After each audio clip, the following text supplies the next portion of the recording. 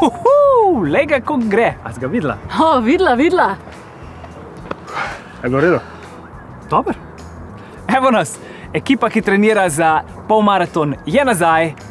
Dober, uh, Anže trenira, ampak pod budnim očesom, tem budnim očesom, mene, trenerja, coacha, senseja, podlesnika. In zato, ker je to um, zelo zahtevna naloga, je tu tudi asistentka Hanna. Prvi mesec treninga je za nami in zato je čas, da otežimo vaje.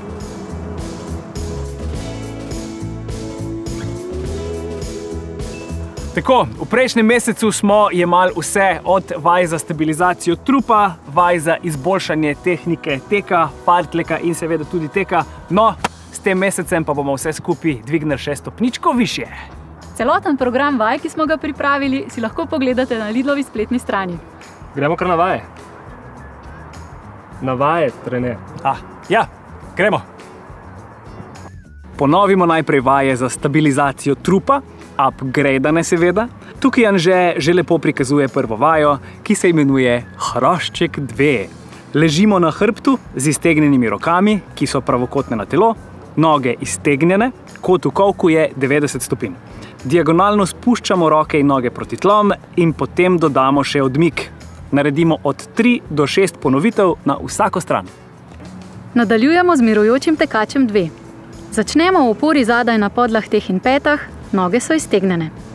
Eno nogo najprej dvignemo od tal, jo pritegnemo k sebi, nato spustimo in z njo naredimo še odmik v stran. Enako ponovimo z drugo nogo in tako izmenično naredimo od 6 do 10 ponovitev z vsako nogo. In zaključimo vaje s tekaško mizico. Dlani so ob liniji bokov, noge skoraj iztegnjene, dvigamo boke, na to iztegnemo nogo v zrak, zadnico na to povlečemo čim dlje nazaj med dlani, ne da se dotaknemo podlage. Naredimo od 6 do 10 ponovitev na vsako stran. Alen, a pokaževa še nadgradnjo vaj za izboljšanje tehnike teka? Um, ja, ja, ja, kar dajmo. No, pa dajmo. Ok, začnemo s tekom z visokim dvigom kolen oziroma visokim skippingom, kot so mene učili v osnovni šoli. Nadaljujemo s tekom zvratno in jogging po skoki. In že smo na hopsanju. Še ena stvar, ki jo z nami iz osnovne. Uh, ej, za intermezzo, zdaj ko smo že glih prvajah iz osnovke, najprej se subskrbite na Lidlov YouTube kanal. Pol pa spodaj pod ta video napišite, katero vajo ste imeli najrajš, ko ste vodili ogrevanje v osnovni šoli. Dodajte še hashtag privolitev in sodelujete v čist hudi nagradni igri od Lidla in lahko dobite Lidlovo vrednostno kartico. Ok, gremo naprej s treningom. Vaje zaključimo s tekom s poudarjenim odrivom in bočnim prestopanjem v levo in desno. Um, mi smo pa v osnovni šoli temu rekli tudi srnica. Hanna, a, pogledaš, prosim, a, kaj imamo danes po vajah še v planu? 31. dan. Uh, danes imamo tek v klanec, 4 po 1000 metrov, vmes 3 minute odmora, intenzivnost zahtevna. Huh, Anže, a si redi? Pogred sem, po kondiciji sem, jaz sem redi. V začetku tega drugega meseca dosežemo vrhunec intenzivnosti vaj in skupne tedenske kilometrine. V vadbo vključimo intervalne teke v klanec za izboljšanje odrivne moči in vzdržljivosti, saj moramo za napredek telo nenehno izpostavljati novim držljajem.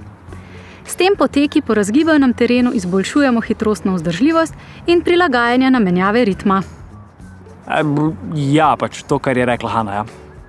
Proti koncu našega tekaškega izziva pa se intenzivnost vaj zniža.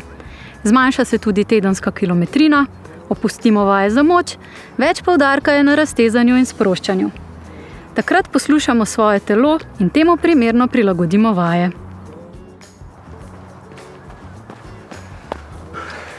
Vsa čast. Bravo! 60 dni treninga. Skoraj 61 dni treninga si naredil. No, sem jaz sem bil tudi dnevi počitka. Ja, ampak ti si to naredil. Kako se počutiš? Odlično, tako da komaj čakam telih 21 km. Vi si pa zdaj naložite ta program vadbe, noter imate lepo po dnevih napisano, kakšne vaje narediti, kakšne vaje ne narediti. To sta Hanna pa in že res lepo pripravila, da se perfektno pripravite na ta tekaški podvig. Če Če pa ne, nam pa na našem Facebooku Lidla Slovenije napišite, kako se vi pripravljate na maraton. Sej veste, več glav, več ve. Ok, a sta vidva redi? Vem, da sta redi. Ker tokrat kaj? Ker tokrat zmoremo! Pa vi tudi. Pol pa rasturamo na maratonu. Kako ti je dala? ej? šamar! Skoraj 61 dni treninga je za tabo. No, a so mi... Aha, 31. dan, uh, danes imamo tek v klanec, štirikrat po 1000 metrov. Vi si pa zdaj kar takoj naložite. Takoj!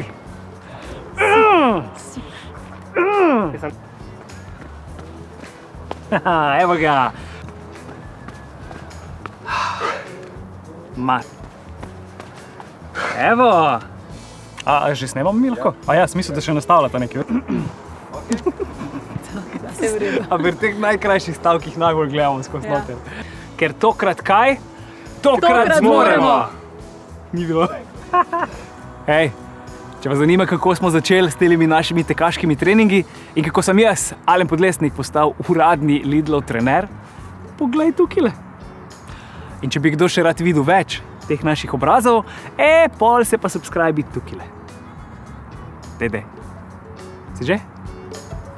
um pro